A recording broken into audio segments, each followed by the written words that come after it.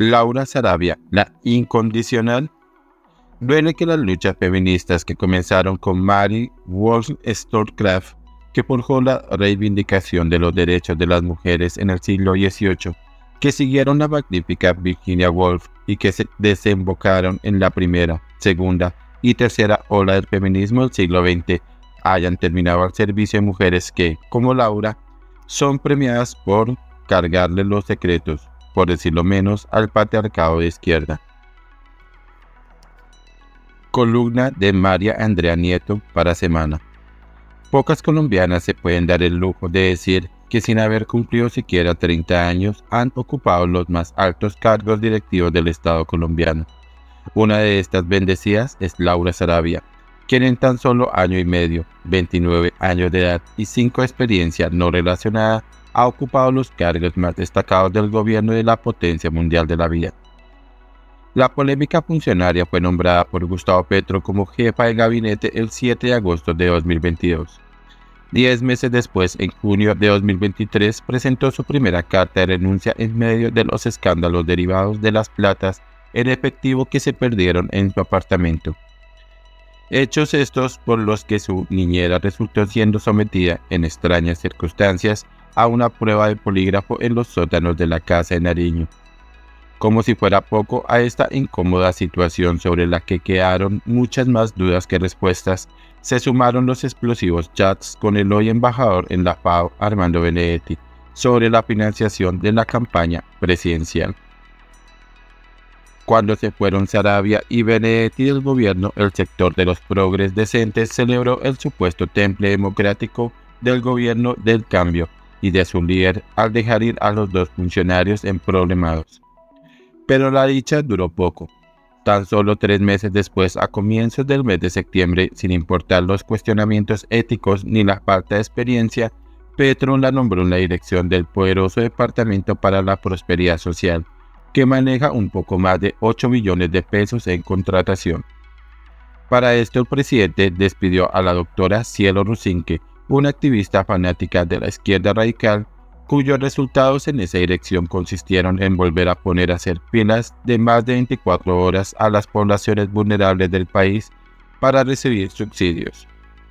Un retroceso progre de marca mayor porque estos procesos ya estaban bancarizados y se realizaban usando herramientas tecnológicas que, pues obviamente le molestan tanto a la potencia mundial del atraso.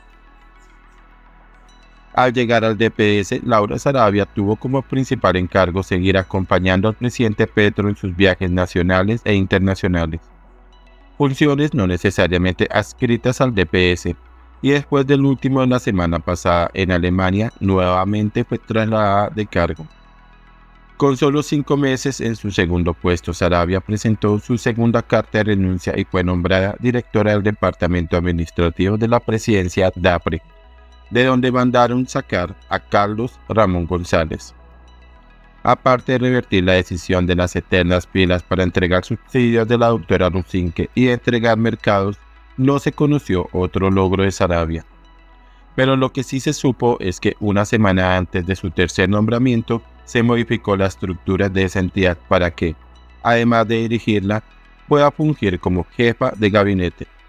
O sea, regresar a su primer puesto, ser la ordenadora del gasto de esa dependencia y la jefa de seguridad e inteligencia de la presidencia.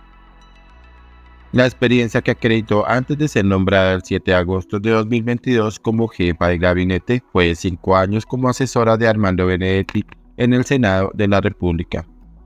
Previo a ello, no acreditó experiencia adicional, pues tenía 23 años.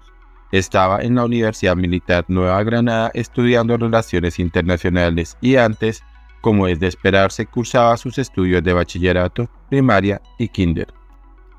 Así, con 28 años y sin ningún conocimiento técnico certificado, llegó a manejar el Consejo Ministerial del país.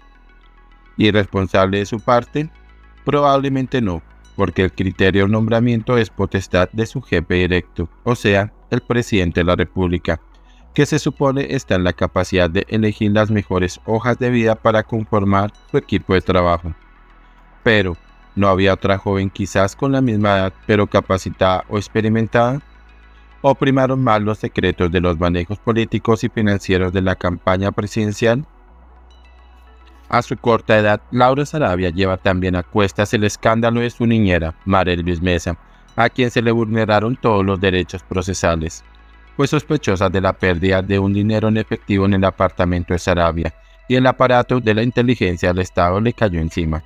La achuzaron, persiguieron, la requisaron a ella y a su familia sin una orden judicial y para terminar, la interrogaron en un episodio escabroso por el cual hoy hay policías en la cárcel el coronel Carlos Pérez, imputado por haber presuntamente mandado a chuzar a la empleada doméstica, y el coronel de la Casa Militar, Oscar Dávila, quien se suicidó en extrañas circunstancias. Eventos por los que Laura Sarabia le debe muchas explicaciones al país. Podría haber violado la ley la funcionaria estrella de Petro en su contra, pero intensa experiencia política.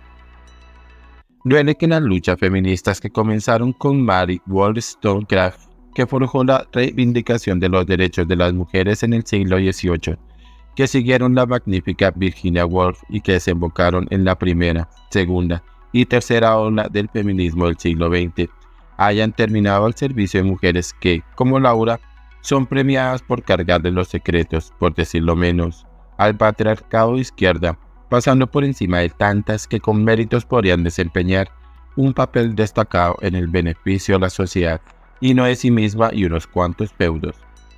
Pero en el mundo progresista colombiano esta es la nueva definición de mujeres decentes y Laura, al parecer, es una de sus más destacadas representantes.